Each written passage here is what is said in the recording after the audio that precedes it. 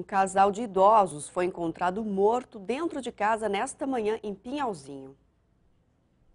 Os policiais encontraram os idosos no quarto ao lado da cama. Objetos e roupas estavam espalhados pelo chão. Não havia sinais de arrombamento no portão.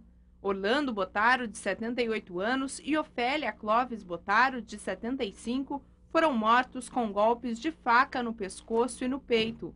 A polícia foi chamada no começo da manhã por esta vizinha que desconfiou do portão aberto. A vizinha de frente veio e falou para mim: tem uma mulher procurando produto e chama, chama seu Orlando e a Ofélia e nenhum dos dois atende. Aí foi que eu subi, aí chamei, aí chamou uma polícia. O delegado deve colher depoimentos dos vizinhos para ajudar no inquérito, que deve ser finalizado em 30 dias.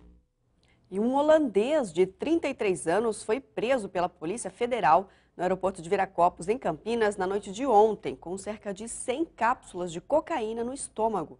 Os policiais desconfiaram do homem na hora do embarque. Ele tinha como destino a cidade de Amsterdã, na Holanda. O suspeito foi encaminhado ao hospital para retirada do material e vai ser indiciado por tráfico internacional de drogas.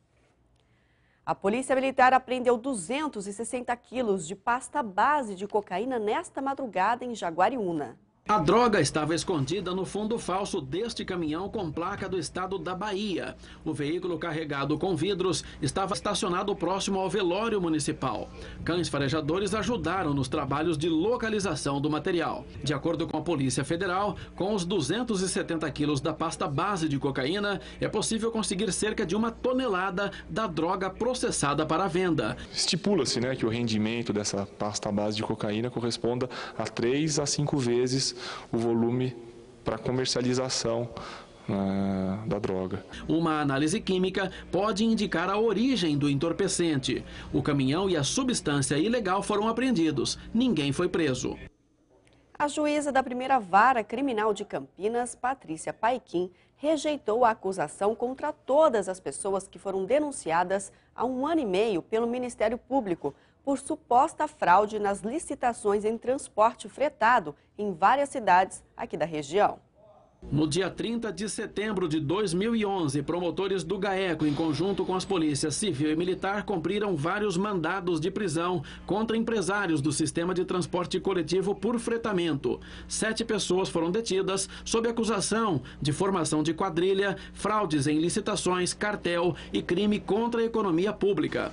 A denúncia dava conta de que o grupo de empresários e os membros do sindicato combinavam quem assumiria serviços, tanto em contratos privados como em públicos. O caso chamou ainda mais a atenção por envolver empresários conhecidos, como o dono da empresa Rápido Luxo, Belarmino Marta Júnior.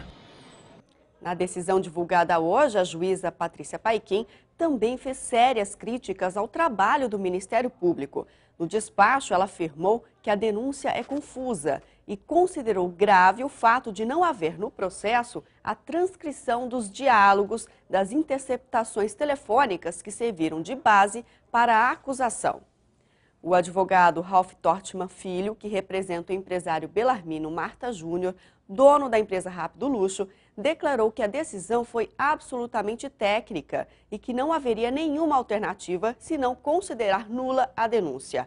Já o Ministério Público informou que ainda não foi notificado formalmente e que vai analisar o conteúdo da decisão para decidir que providência irá tomar.